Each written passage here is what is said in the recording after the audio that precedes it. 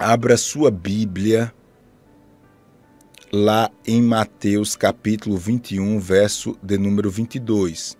Mateus 21, 22, diz a palavra de Deus: E tudo quanto pedirdes em oração, crendo, recebereis. Eu vou repetir. E tudo quanto pedirdes em oração, crendo, você vai receber. É o que diz Mateus capítulo 21, versículo de número 22. Eu quero falar hoje da oração como um remédio para vencer a ansiedade. E eu acho que vale a pena eu começar essa mensagem perguntando se você é uma pessoa ansiosa. Pastor, não. Pastor, sou. Você é ou não? Possivelmente você vai dizer que sim. Até porque, vez por outra, a gente confunde a ansiedade e a gente está preocupado, a gente está é, com um sentimento de atenção ou com um comportamento de atenção, estamos um pouquinho mais tenso, que isso é bom até certo ponto. A gente está com algum temor e aí a gente acha que é, está ansioso. Nem tudo é ansiedade.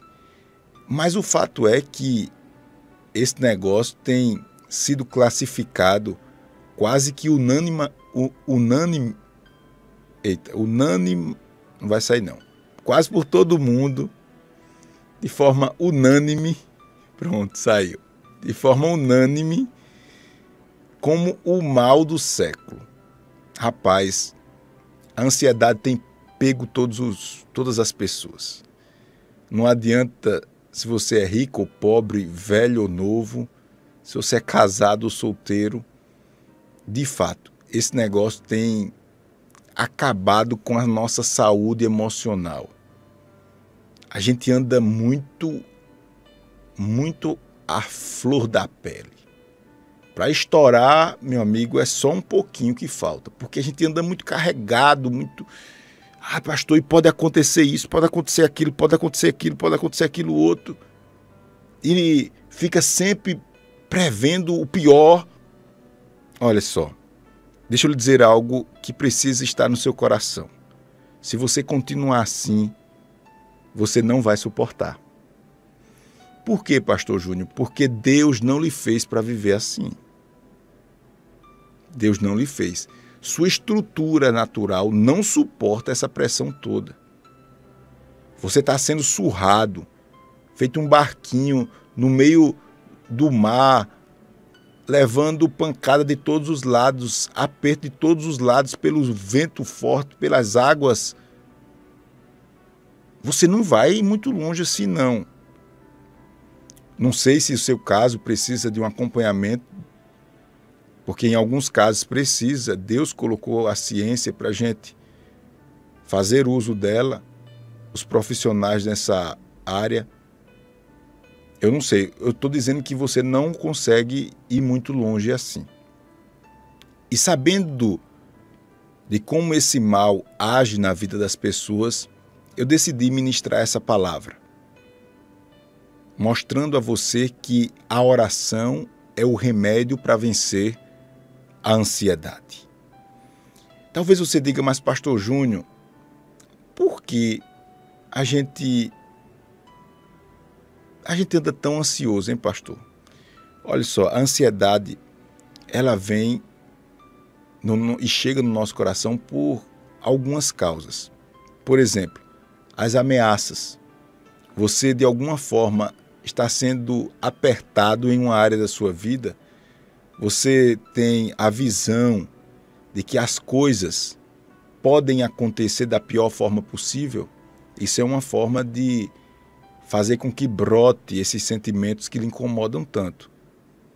Então, você que diretamente é ameaçado por uma pessoa, por um grupo de pessoas, você que está no trabalho, mas, pastor, muita gente foi demitida, Muita gente foi colocado para fora e eu estou esperando aqui, pastor, qualquer hora eu posso. Isso é uma forma de ameaça, né? Você está se sentindo ameaçado, seu emprego está ameaçado. E a partir daí começa agora surgir um descontrole emocional e você chega em casa já com a cabeça quente e, e briga com todo mundo e tal. Não só as ameaças, mas o medo em si, ele causa ansiedade. E quando nós falamos do medo, eu preciso que você entenda que o medo na Bíblia é tratado em alguns momentos como um espírito. É possível que o medo que você esteja enfrentando seja um espírito, e esse espírito não é de Deus. É um espírito do maligno que se aposta, encontra uma brecha nas nossas vidas e faz uma arruaça maior do mundo. Então tenha muito cuidado quando você vê o medo lhe controlando. Toda vez que o medo lhe controlar, saiba que esse negócio não vem de Deus, de jeito nenhum. E esse negócio vai gerar uma ansiedade, um sentimento de doença na alma. Se você for olhar direitinho e ver o que esse mal gera na vida das pessoas, é coisa terrível. Não é só no mundo espiritual, porque no mundo espiritual alguém já disse que quando a ansiedade chega, a fé, ó, cunha, cunha, cunha. A fé não resiste, ou seja, é água e óleo, não dá para juntar. Estou ansioso, pastor, mas eu creio. Não dá. Não dá. Ou você crê, ou você fica aí a flor da pele. Ai, meu Deus, não sei se vai acontecer e vai acontecer agora e não sei o que, eu não vou fazer porque eu estou com medo, eu não sei o que. Não está crendo, não tem fé. A Bíblia diz que sem fé é impossível agradar a Deus. Então, no mundo, no mundo espiritual, você fica em, em total desvantagem no mundo espiritual. E no mundo físico, muitas doenças. Há quem diga e defenda que mais de 50% das doenças são doenças da alma que reflete no nosso corpo. Então, é um negócio que nós precisamos vencer. E eu chego dizendo a você, através da palavra de Deus, que o remédio é oração. Pastor, eu não quero orar, eu, eu, eu já tentei, eu você vai ter que orar. Você vai ter que orar, porque a oração é uma espécie de meditação. A oração é você criar uma ligação com o Criador. É você pedir que o Criador Deus ele faça uns ajustes na sua vida. Isso só pode ser feito através da oração. E a oração em grupo, como nós fazemos aqui, é importante, é muito importante. Desculpa. É muito importante. Você pedir oração importante é muito importante. Mas nada disso pode substituir o seu momento a sós com Deus. Quando você fecha a porta do seu quarto e você fala com Deus, e você ora, e você para para Deus. Isso é fundamental na sua vida. Sem isso, você não pode dizer que vive uma vida de oração. Mesmo você que ora quando sobe no ônibus, quando desce, quando está dirigindo, quando está trabalhando, quando está. Essa oração é auxiliar. Você precisa ter um momento com Deus. Um momento de oração. Agora é importante também dizer nesse contexto, para eu ir mais adiante na mensagem, que tudo que você sente no coração e que dá uma pontadazinha, nem tudo é ansiedade, viu? Nem tudo é ansiedade. Também você não pode achar que tudo é esse mal, porque não é. Você deve ter um senso de responsabilidade, você deve ter um senso de cobrar você, você deve ter um senso de saber que tudo tem o seu tempo, você deve se esforçar, estudar, trabalhar para dar o melhor à sua família, e isso não é ansiedade. Você buscar suas melhoras, como a gente fala no popular, não é ansiedade. Você economizar hoje para ter amanhã, não é. Isso não é ansiedade. A ansiedade, ela faz com que você viva em pró daquele temor. Você agora, você é como eu sempre falo, é como se você fosse um tanque de combustível furado. Esse furo é ansiedade. Está acabando com você. Está acabando com suas forças. Você chega em casa já não tem mais ânimo de brincar com os filhos, dar atenção aos outros. Você está você tá uma pilha. Isso é ansiedade. Isso precisa ser vencido. E precisa ser vencido pela oração. Então, esse grave problema precisa ser enfrentado por você. Entenda isso em nome de Jesus. Se está roendo unha, se você está muito apreensivo, cuidado. A palavra do Senhor diz lá em Mateus 6:25 que Jesus ele nos orienta a saber que Deus está recebendo todas as nossas inquietações e que nós devemos entregar tudo na mão dele. E vale a pena depois você ler esse capítulo. Leia o capítulo todo, o capítulo 6 todo de Mateus, você vai ver Jesus dizendo que o Pai tem responsabilidade pelo, com seus filhos, o Pai eterno, que ele providencia o necessário, assim como ele faz com os pássaros, com as plantas no campo, ele vai fazer e ele faz com os seus filhos. Então, a palavra de Deus diz e o próprio Jesus diz: não ande ansioso com coisa alguma, nem pelo que você vai comer, nem pelo que você vai beber. Jesus vai dizer, inclusive, que a vida é muito mais do que comida e do que bebida. Nesse contexto, Jesus vai nos convidar a buscar primeiro o reino de Deus. E esse buscar primeiro o reino de Deus, eu digo a você que é viver uma vida de oração. Quando eu digo viver uma vida de oração, não é você passar o dia todo orando, não. É você ter um momento a sós com Deus. Isso vai ser um divisor de águas na sua vida. Eu dou um passo mais adiante e leio com você Filipenses 4, 6. Está escrito: olha o que a Bíblia diz. Não andeis ansiosos de coisa alguma.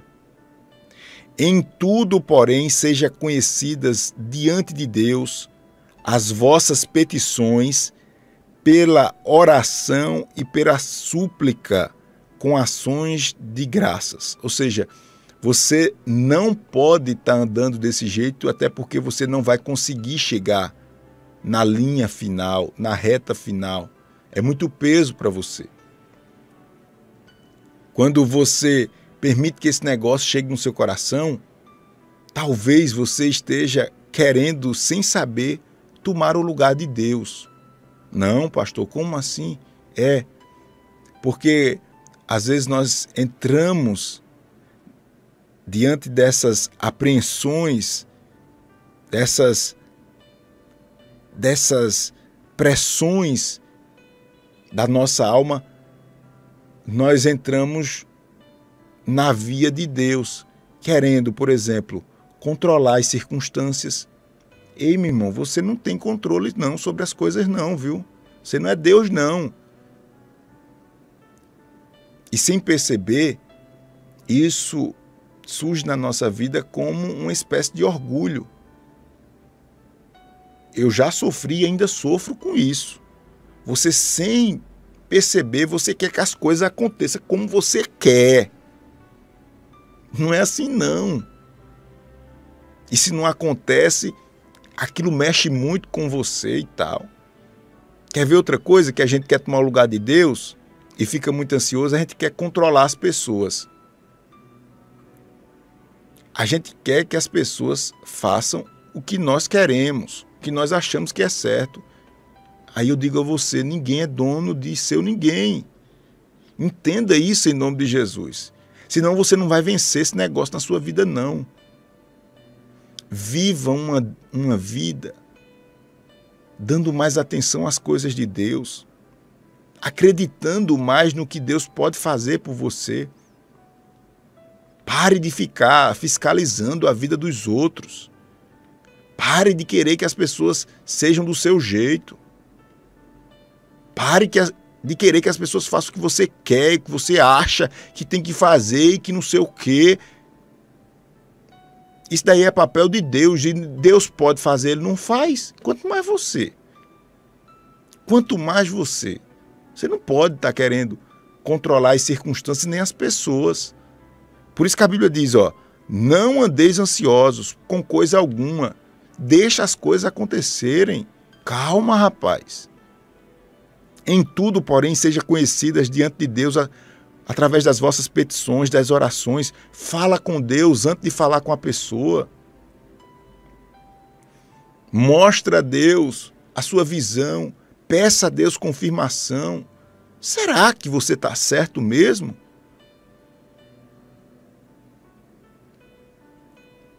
Eu dou um passo mais adiante e a palavra do Senhor nos mostra que Aqui em 1 Pedro, capítulo 5, versículo 7, como está escrito, muito conhecida essa passagem bíblica que diz: lançando sobre ele, lançando sobre Deus toda a vossa ansiedade, porque ele tem cuidado de vós. Lançando sobre Deus toda. Como é que a gente lança sobre Deus? É através das orações. Não tem outra forma. Imagine como Deus se sente. Você conta seus problemas mais às pessoas do que ao próprio Deus. Se põe no lugar de Deus. Você busca mais soluções nos homens, nos conselhos humanos, do que em Deus. Se coloque no lugar de Deus. Como Deus vê essa situação?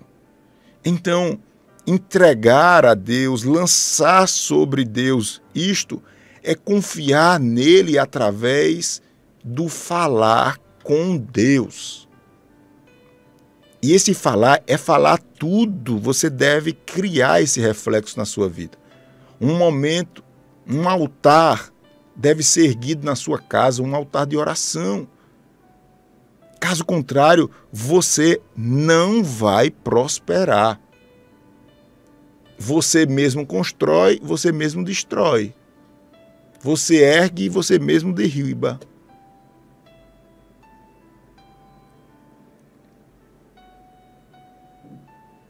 Salmo 38, verso 9, o salmista disse: Na tua presença, Senhor, estão os meus desejos todos. Que coisa linda. E a minha ansiedade não te é oculta. Ou seja, o salmista disse: Eu chego diante de Deus. Pode ir lá.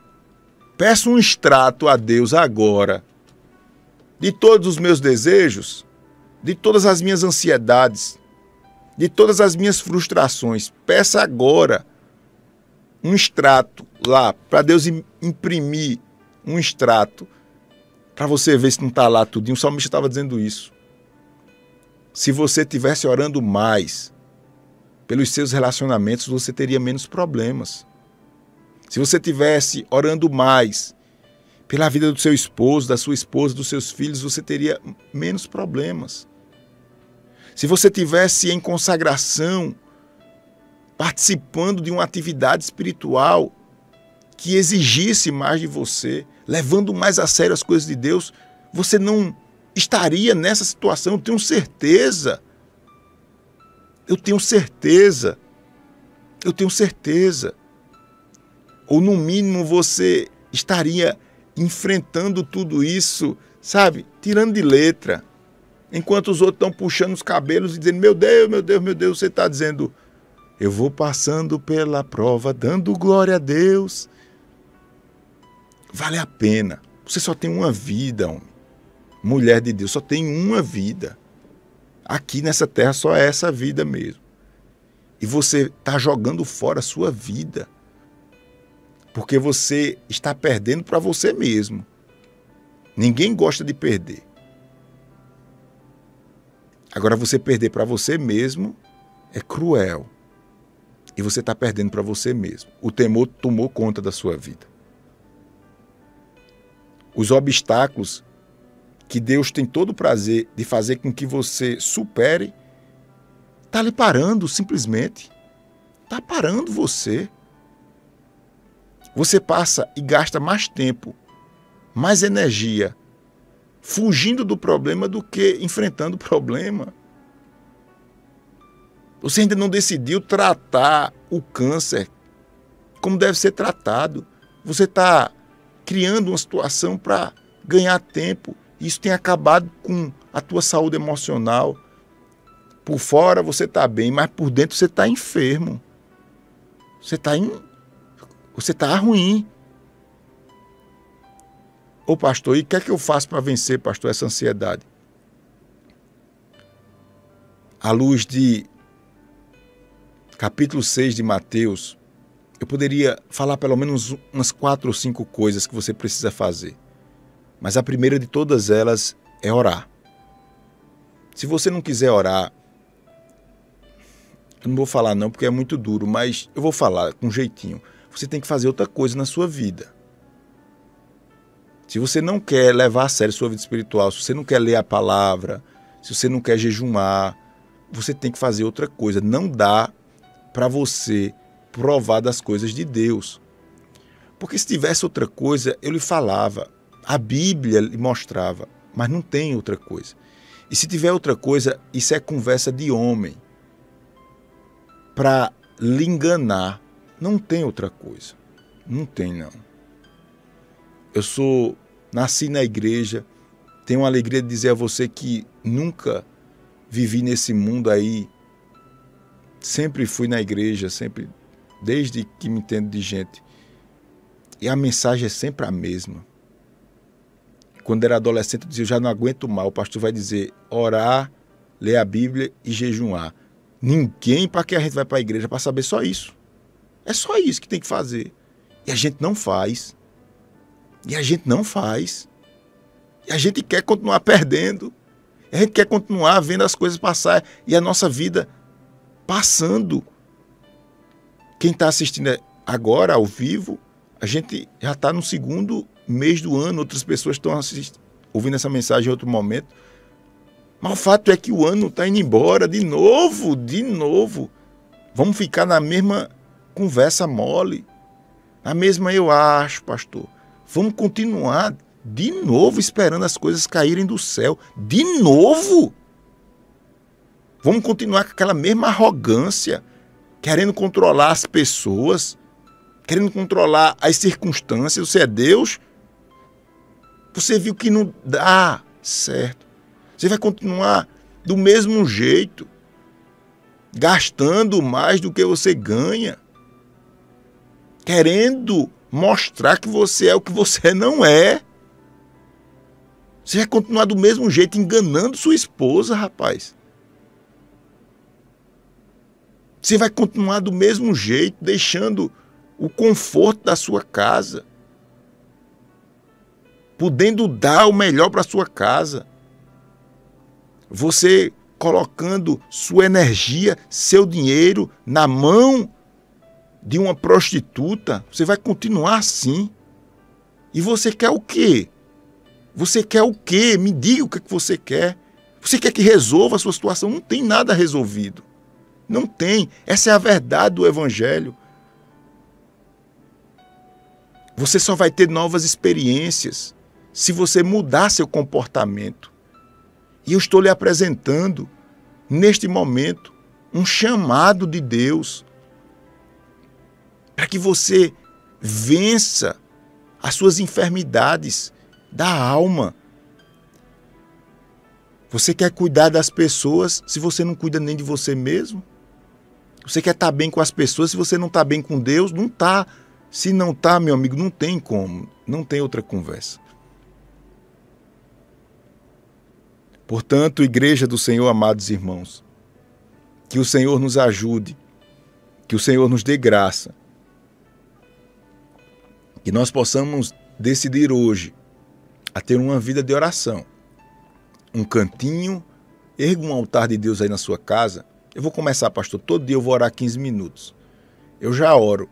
Acrescenta mais 15 minutos nesse período. Ou é, cria uma situação aí, convida outras pessoas. Se ficar só olhando, assistindo a rádio e vendo, não, vai acontecer o quê? Vai acontecer nada na sua vida. Nada na sua vida. Talvez você se incomode o jeito que eu falo, direto assim, é porque não tem como a gente querer enfeitar não, viu? Isso é para mim também, me incomoda. Mas a palavra de Deus, ela tem esse efeito mesmo de incomodar a gente. Às vezes dá vontade até de desligar o rádio, não ouvir mais, porque a gente quer mais paciência.